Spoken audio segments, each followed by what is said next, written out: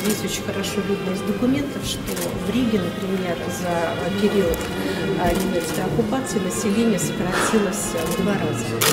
С 400 тысяч до 200 тысяч. С 400 тысяч до 200 тысяч. Трофейная радиола, телефонный аппарат из штаба фельдмаршала Паулюса и громоздкие плетеные лапти плененных немцев, найденные под Сталинградом, оружие и обмундирование маршалов и рядовых солдат, постановления, секретные телеграммы, письма с фронта, кинохроника и предметы, принадлежавшие узникам нацистских концлагерей. В общей сложности более 300 уникальных экспонатов периода Великой Отечественной войны рассказывают, какой ценой далась победа. Подарок э, генерал-полковнику Вячеславу Цветаеву, участнику освобождения лагеря Майданок от американского генерала, э, генерал-лейтенанта да, э, Симпсона. Вот подарочная кобура. То есть знак дружбы между Американ... Соединенными Штатами Америки и Советским Союзом. 75 лет назад вклад Советского Союза в победу над врагом никто не оспаривал. Более того, миллионы мирных жителей на оккупированных территориях связывали свои надежды на избавление от нацизма только с Красной Армией. Подтверждение тому вот этот чешско-русский словарь. Он был найден в 1942 году в неразорвавшейся бомбе, сброшенной на крышу Московского педагогического училища. Оккупированные чехи вынуждены были работать на нацистов, делать снаряды и боеприпасы. Рискуя собственной жизнью, кто-то сделал такое послание Советскому Союзу. Снаряд и не мог взорваться. Внутри был просто песок. Да, мы не знаем их имен, мы не знаем их фамилии, мы не знаем, что это за люди, что с ними стало.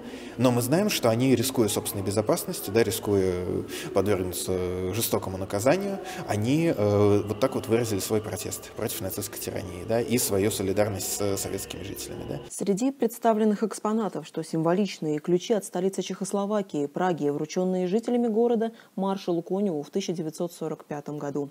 Именно советские солдаты и офицеры за два последних года войны частично или полностью освободили 11 стран Центральной и Восточной Европы. Выставка «Путь к победе» в Музее современной истории России не только подробно рассказывает об освободительной миссии Красной Армии, но и расставляет акценты того времени. Главная цель выставки а, – еще раз обратить внимание на то, что Красная Армия пришла в Восточную Европу как освободитель.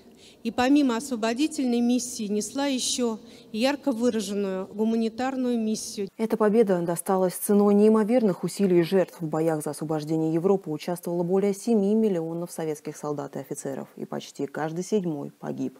Но нацизм был разгромлен как политическое явление. Будут созданы или уже созданы еще около 20 экспозиций, которые будут представлены э, в странах Центральной и Восточной Европы и в целом э, ряде стран Содружества независимых государств.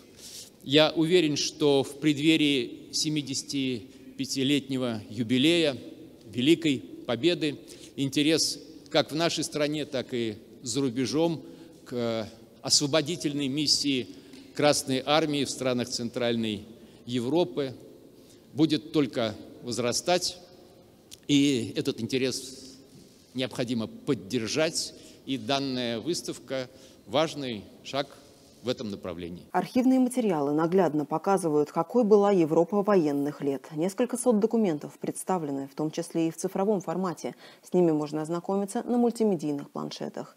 Среди них и те, что рассказывают о жизни на оккупированных территориях. Например, листовка с информацией об отступлении нацистов из литовской деревни Антакальни. Уходя, немцы зверски истребили все мирное население, включая грудных детей.